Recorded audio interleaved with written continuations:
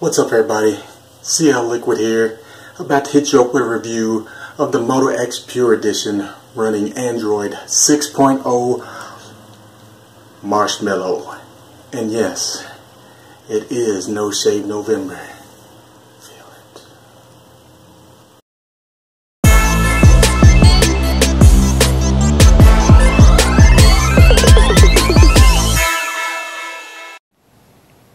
What's up everybody? Alright, I'm going to do a quick little review here of my Moto X Pure edition running Android 6.0 Marshmallow.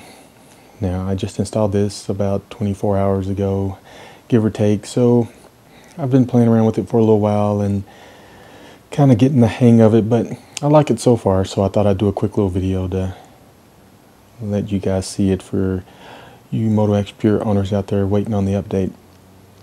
So um, I think we'll start by jumping into the settings. you can see here about phone, Android version 6.0. We are running. Um, so it's not too much different here from Lollipop in the settings. I mean your normal stuff here as far as wireless and networks, um, NFC, blah blah blah. Nothing real different there. Um, jump back out. Now I am running Nova Launcher. That's my preferred launcher. Um, I have Nova Launcher Prime, but obviously you can use whatever you want. Just thought I'd mention that so you'll know what I'm running here. Um, jump into display options. Nothing really different here either as far as display options everything's pretty much the same as on lollipop. Um, jumping into sound and notifications. Here you have your normal settings for all your different volumes. Nothing really different there. Um, other sounds. Same old same old. So jump back out of here. Um, apps blah blah blah so this is a little different here, the storage and USB. This is actually, I have the 16 gigabyte version of this phone, but I have a 32 gigabyte micro SD card in here currently. Uh, I have a 64 gigabyte that I'm going to throw in here later, but for right now I'm just using the 32 just to um, try this out. Now when you first put your micro SD card in, it's going to ask you, do you want to use this as a external uh, storage or do you want to use it as an internal storage card? Which means basically for the external it'll work just like uh, they always work like for a normal USB say you put music or videos or something onto your micro SD card you take it out of the phone you put it into your micro SD card reader slap it in USB slot on your computer and you can pull the files off or copy files onto it just like you normally would. But with the internal storage option, you can actually use your microSD card as add-on storage to your internal storage. What it does is basically formats this microSD card so it only works with this phone. So once you take this out of the phone and you plug it into your computer, it's not going to recognize it because it's only formatted for this phone. So when you install things, see how this says the storage here, total storage used is 45.24 gigabyte. No, I'm sorry. 16.24 gigabyte of total 45.24 gigabyte. So basically it's using that SD card as just a whole storage option altogether. Now you can still go in here and see what's on your micro SD card, but just like before, you know, to show you everything. Now, one thing I recommend is, I'm sure you all know, get a fast writing micro SD card. Get something with the fastest write speed you can find that you can afford because it's going to make a difference when the phone's trying to access things from the micro SD card. Obviously, the faster it can write, the faster the things are going to load up and faster things are going to copy to it or what have you. So keep that in mind. but I do like that feature. I went ahead and formatted mine to only work with this phone because, like I said, I have the 16 gigabyte version. So, um, all right. So what else is different here? Um, battery. Of course, you have the doze mode, which everyone's been talking about. Uh, you go up here to your three dot settings icon. You'll see there's now a battery optimization option. Click on that. This will show you by default what's not optimized, which is your Motorola notifications and you know Google Play services. Uh, click on that. Go to all apps and here you'll see it's optimizing battery use for all of these apps. Now this is something that's sorry didn't mean to go out of that this is something that will take a while because it has to learn the patterns of your phone when it's off or when the screen's off of which apps are doing things in the background and what it's accessing and what's using battery. So this will take, you know, probably a couple of days, maybe even a week for it to learn your phone and how the apps are running on it so it knows what to, you know, power down when your phone's not in use and save you battery. So I've, since I've only had this for running this for 24 hours or so, hasn't really showed me any um, difference yet. And I do notice it when my phone's off. It does hold battery a little better, but it's not up to the full potential yet because I have only been using it for just uh, one day. But I think that's going to be good. I mean, the battery on this is so-so. I mean, it's average at best on this phone. If you're a Moto X Pure owner, I think you already know that. On Lollipop, it wasn't exactly. I mean, you could turn off things here like the Moto display and all that to save a little battery. It was, you know, a little better with that. But, I mean, why get this phone and then turn off some of the best features of it? I mean, that's stupid but to each his own. Um, see what else we have here. Memory. I mean, that's pretty much the same as before. It's a little different look to it. Um, you know, you see three hours out what's been using the most battery for the last three hours. Or you can go all the way up to a full day and see what's used the most. Um, sorry, not battery, but memory during that day. And I'd say Android OS is probably going to be the top runner most of the time because that's pretty much what's running all the time and it always needs memory to run everything on your phone. So let's get out of that. Um, users, same tap and pay, same location, nothing different about that. Accounts. Now this Google I can't really remember if this was in there before. I'd have to look at my other phone. But I don't think it was actually in the settings. Correct me if I'm wrong. But it's now here instead of going into a separate Google Settings app that used to be in the app drawer. Now you can, I guess, scroll down here and find it. I mean, I don't really go into the Google settings very often, other than when I'm first setting up a phone to go in and, you know, turn on um, OK Google under search and now, but other than that, I mean, it's there. Um, rest of it, language and input, same. Motorola privacy, backup reset, blah blah blah. Motorola ID. I mean, yeah, this is all the same. Um, I would recommend um, while you're in here, go to about phone, scroll down, Click on build number until it says developer options unlocked.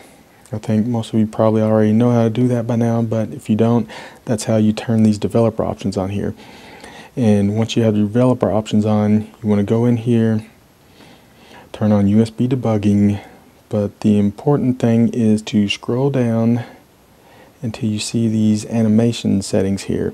Now these are going to be set by default at 1x, which shows you the animations to, I guess, highlight the look of the OS and everything the way Google wants you to see it. But while that's great, it also kind of slows down your phone.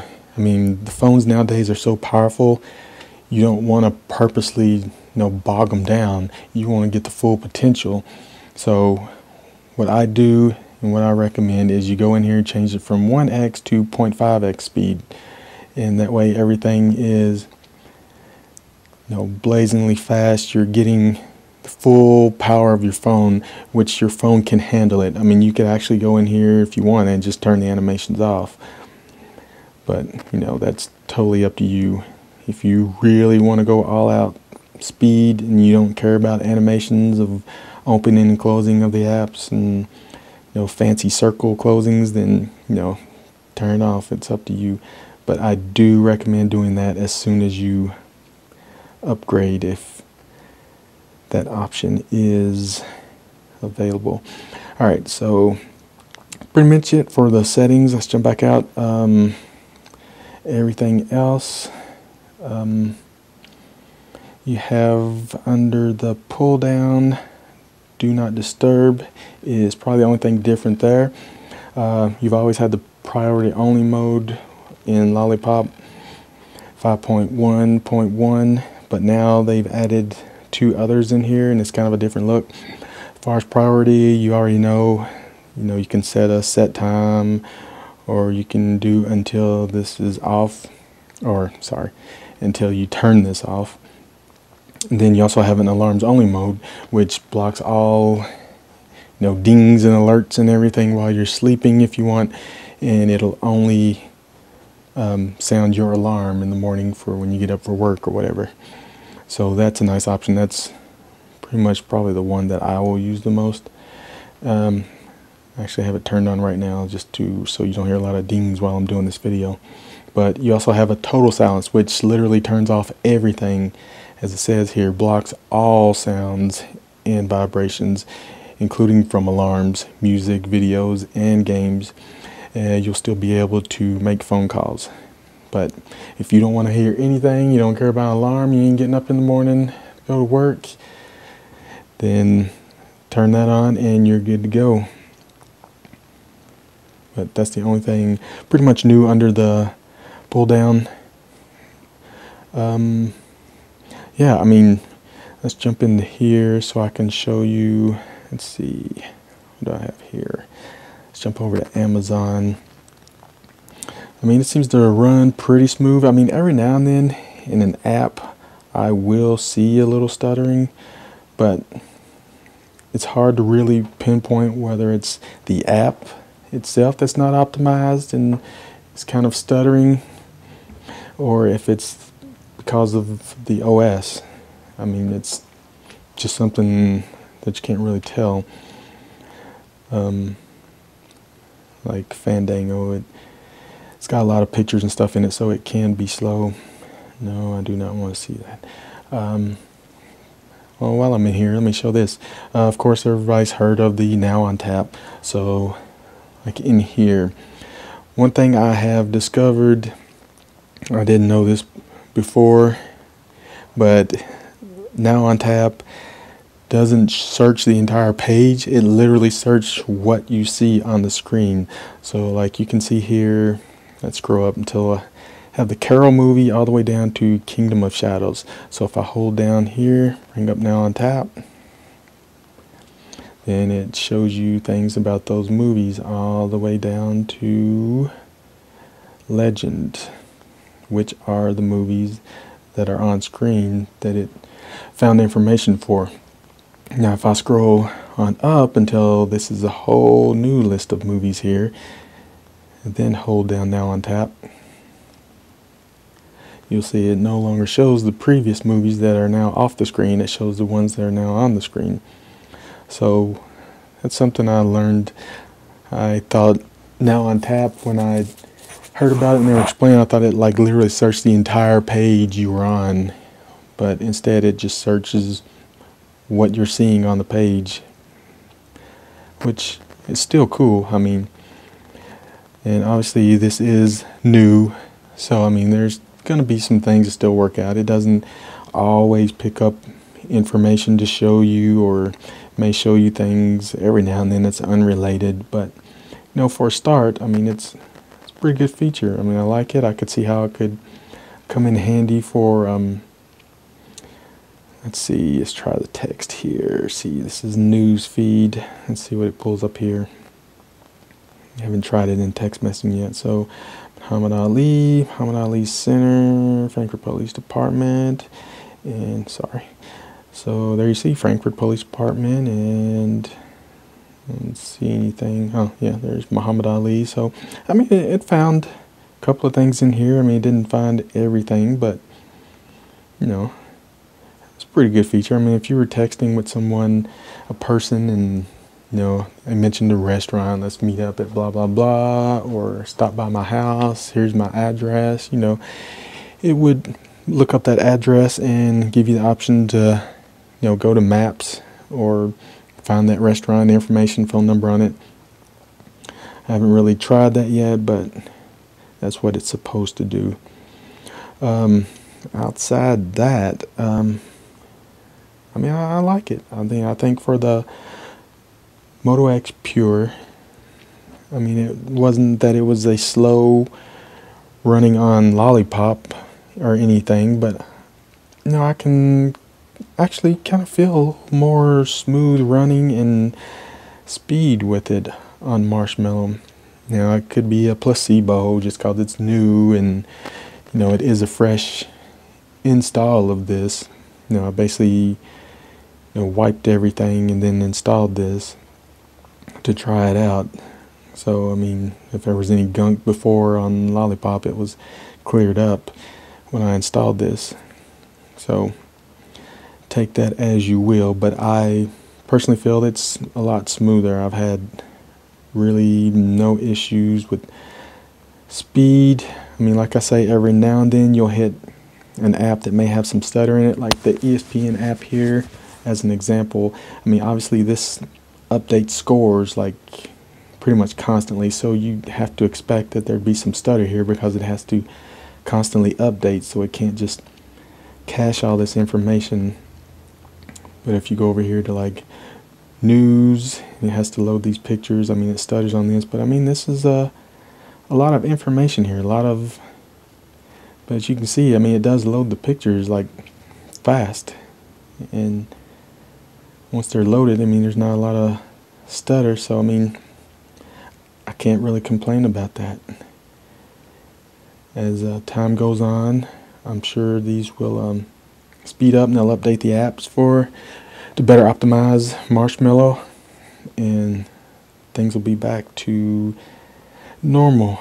Um, so yeah, I mean that's that's it. I have um, Moto 360 smartwatch connected to this, so I mean that kind of takes care of the security on this for me. That's what I use. I think I mentioned before I set this for. Uh, smart lock and I use this as a trusted device so anytime I lock the phone and unlock it it unlocks freely as long as I have my watch on or I'm in with within range of the watch. So yeah there you have it. This is the Moto X Pure Edition the US version. It's called Style in other places but this is the pure version running Android 6.0 Marshmallow. Um, if you're an owner of this phone, I think you're really going to like Marshmallow, and I'm sure you can't wait to get your update. So, just a little note this is my first video for my new channel, so I really hope if you do like this video that you hit the like button to help me out and get me started because everyone has to start somewhere. And if you really want to help me, hit the subscribe button. And I'm going to try to be as diligent as I can with putting out videos once a week, twice a week, as many as I can get out about anything I find interesting that I want to pass on to you guys or just talk about. Uh, hit me up in the comments and peace out.